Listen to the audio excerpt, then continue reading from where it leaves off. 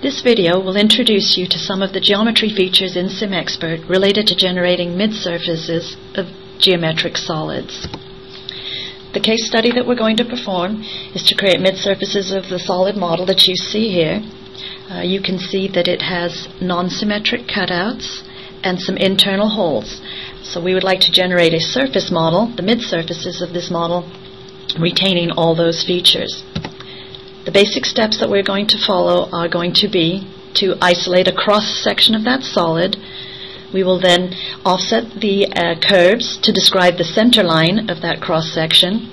And we will then take those curves that we have created and sweep them along the solid to create the mid-surfaces, retaining the shape and all the cutouts and holes that we found in the original model. We have now opened SimXpert in the Structures workspace and we will start to create our model. Our first step is going to be to establish a system of units that's going to be used for any uh, dimensions, loads and boundary conditions, or materials for our model. So we go to the Options Editor, which is found under Tools, Options. Uh, this opens SimXpert's uh, Settings Control Panel, and we would select the Units Manager to control our system of units.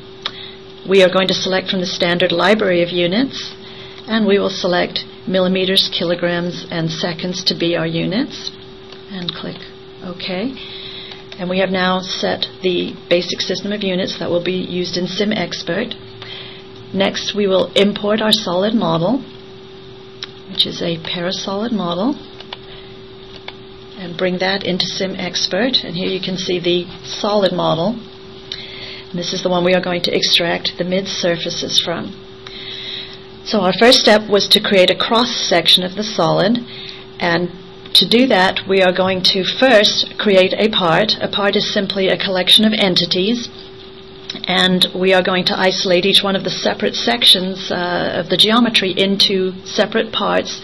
Uh, this is to ease graphics clutter and also to facilitate picking. So under the Assemble tab, uh, we'll create a part for the cross section that we are about to create. And once a part is created, it's listed in your model browser.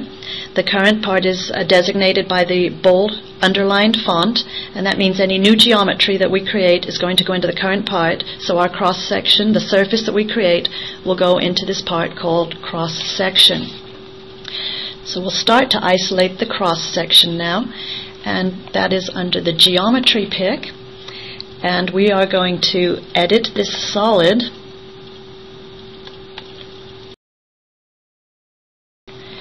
And extract a cross section.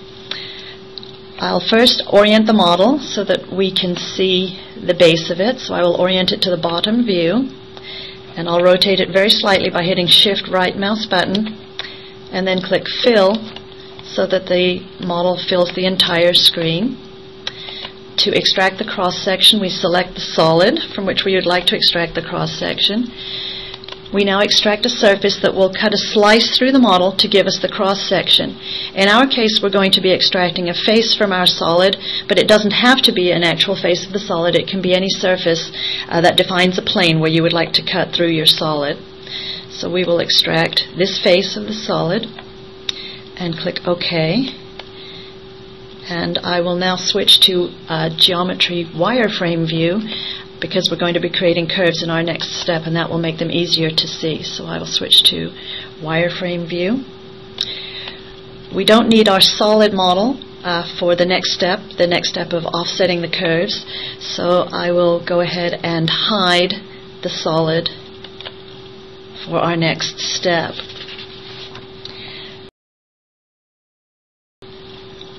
We are once again going to start by creating a part to facilitate picking later on. We could go back to the Assemble tab where we started and create a part from there, but we also can have a shortcut to creating a part by simply right-clicking on Part in the model browser and selecting Create Part.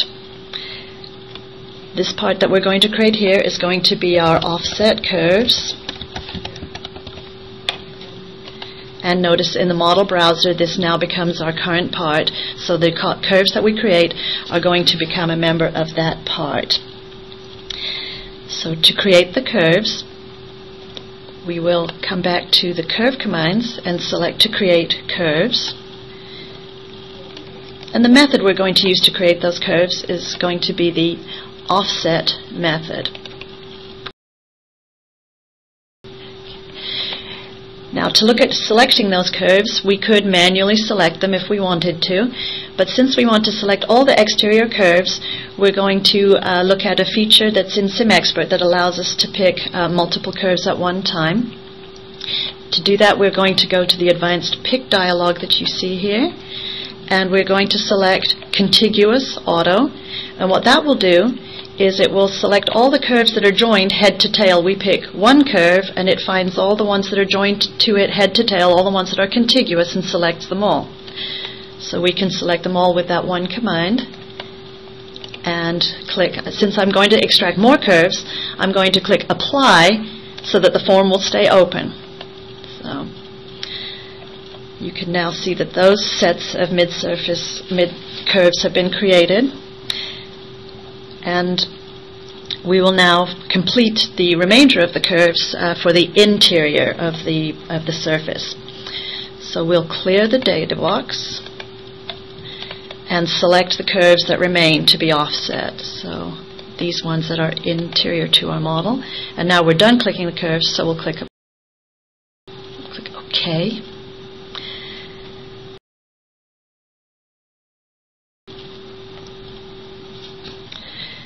Now that we no longer need the cross section displayed, we will go ahead and hide that too. So we'll right click on that and select to hide. And you can see that the curves, the offset curves we have created, uh, don't extend to meet their neighbors. They don't meet up in the interior. So we will extend those curves out so that we have a continuous set of curves here. So uh, we will edit the curves and extend them up to their neighboring curves. So we'll go ahead and select the curve to extend, select the point up to which, the curve up to which we want to extend it, and click Apply. And we will repeat this for each one of these internal curves until we have created a continuous set.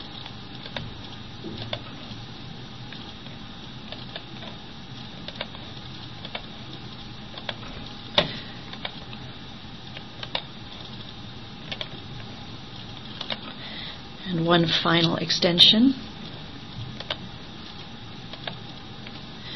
And since this is our last one, I will now click OK to close the form. So we now have a continuous set of curves that describes the interior of the cross section that we isolated. And our final step is to sweep these curves along the solid to create the mid surfaces. So we'll create a part for our mid surfaces.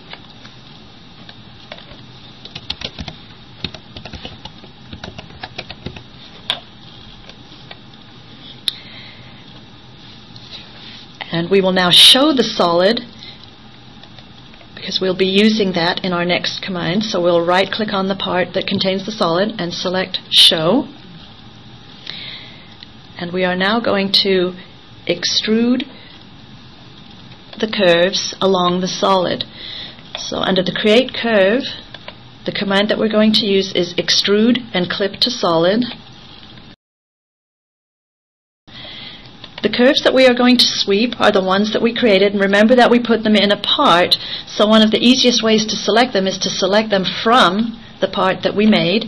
So we'll go to the Advanced Pick dialog and select that the curves that we want to pick are from part. And the part that they are members of is Offset Curves. And now you can see that it's selected all the curves that are members of that part. We are going to clip to our original solid. And the sweep curve, we're just going to pick any uh, edge that uh, lies along the axis of the solid to sweep along. So we'll click OK. And we have now created our mid surfaces. I'll right click on the part name in the model browser and select to show only the mid surfaces. And so that you can see them Shaded, I will turn on geometry shaded with edges. And you can see now that we have mid surfaces of the original model with all of the features retained, all the uh, continu- continuity in the holes are all uh, there.